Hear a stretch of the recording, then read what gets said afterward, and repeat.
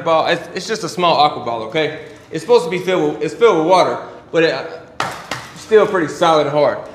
To work your head movement with this, you always have to be in the line of fire, okay? What I mean by that is, you see right now, if I don't move my head, it's gonna hit me in the face. You know, slip, okay? Slip. You see my slip? It's not way out here. It's not way over here. I'm in the line of fire. So when I always put your head in the line of fire, give it a push, slip, roll, right? Slip, drop down, roll, slip, roll. As far as when to, when to slip it is obvious. Slip before it hits you in the face. But once you get better at it, you gotta wait until the last second to try to slip. That way, you get better at anticipating somebody's shot. Not, not just anticipating, but reacting is what I mean. Reacting to somebody's shot coming at you. You see how slow it's going? I'm just gonna work around it. Work around it. Now, once I get my slip and my roll down, you can see the feet. Now watch, when I slip to the back right side, boom, I take a small step with the back foot.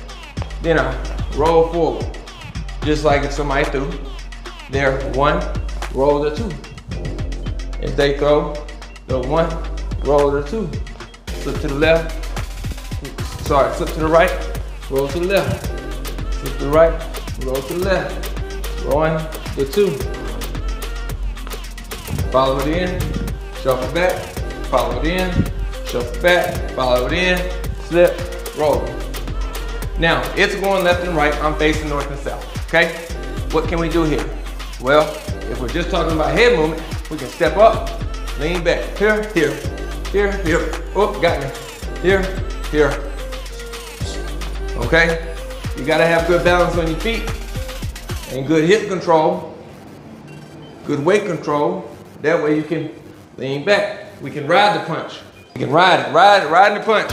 Ride the punch. Somebody throw, boom, hook, hook.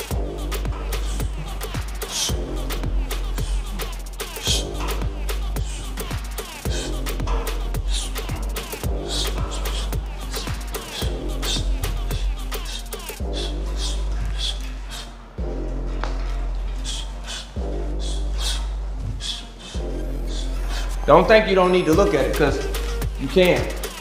You can squat, come back up uh, with our shots.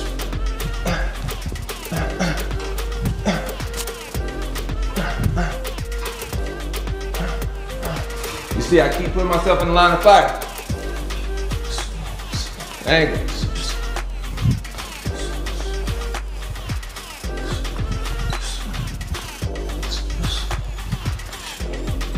The important thing is to keep putting yourself in that head in the line of fire of the ball.